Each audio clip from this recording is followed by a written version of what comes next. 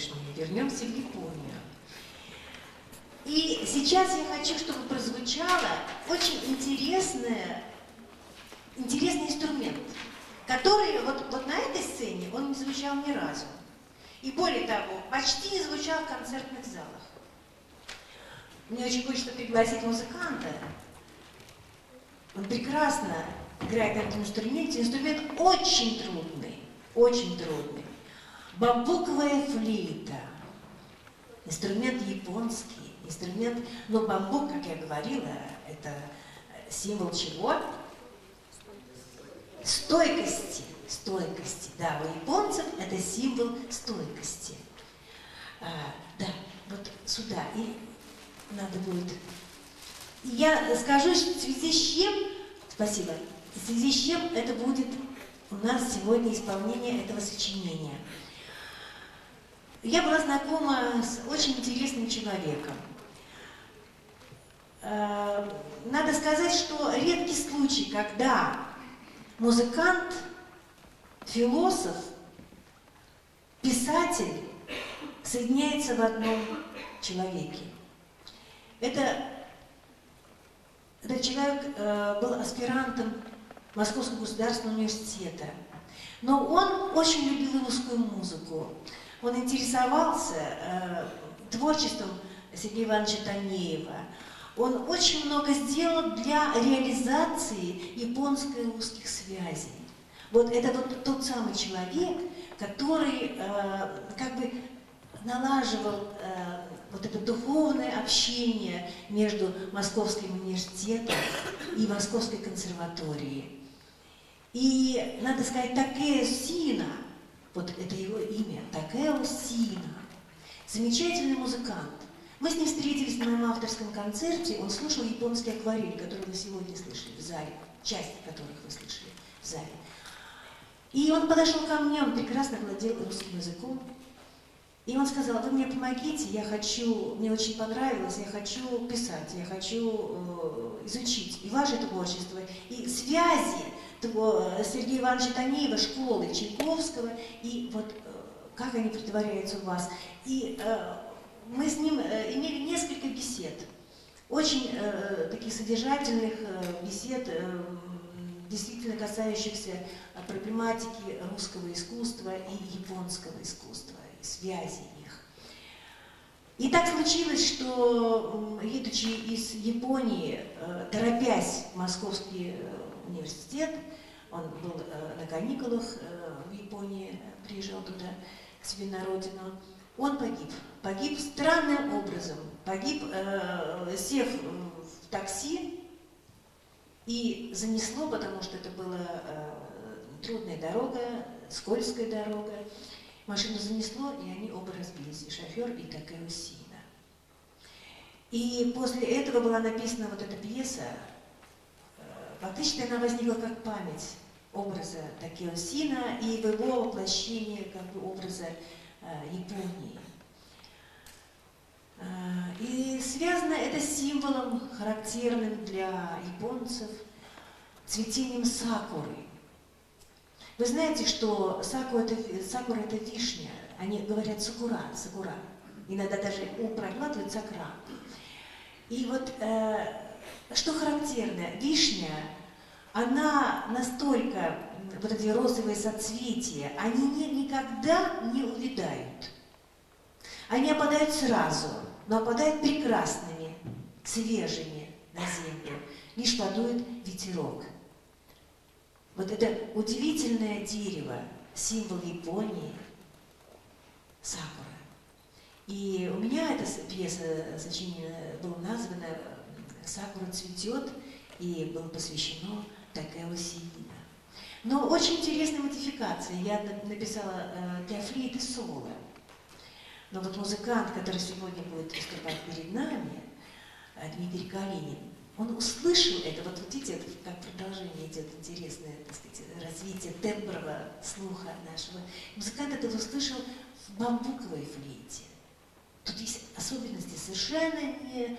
Э, я когда первый раз услышала, э, мы, естественно, встретились, мне очень хотелось э, услышать, как бамбуковая с флейты, и вдруг сакура цветет, вот как она звучит. Знаете, я испытала совершенно невероятное внутреннее волнение, потому что настолько близок к природе этот голос этой флейты, э, что, пожалуй, первый раз я слышу такой голос. Причем музыкант вот, как бы сливается с инструментом, и дыхание его переходит это в дыхание инструмента, и глубинное дыхание. Вот она рождает совершенно какие-то невероятные звуки. Вот послушайте барбоковую флейту. Играет Дмитрий Галинин. Пожалуйста.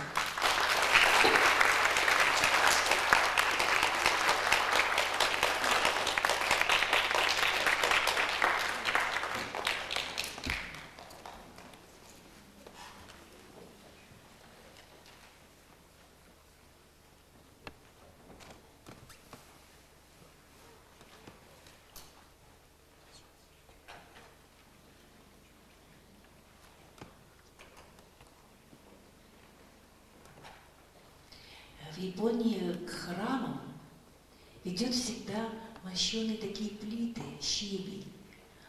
Всегда туристы спрашивают, а зачем щебень к храму? Дорога должна быть трудной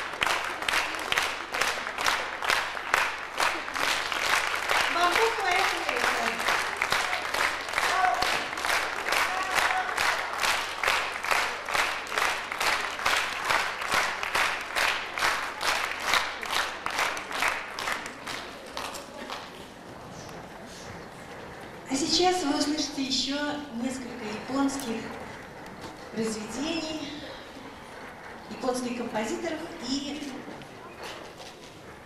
народной музыки. У нас в гостях солистка Большого театра, стажер Большого театра, замечательная певица Хитоми Сомато. Просим.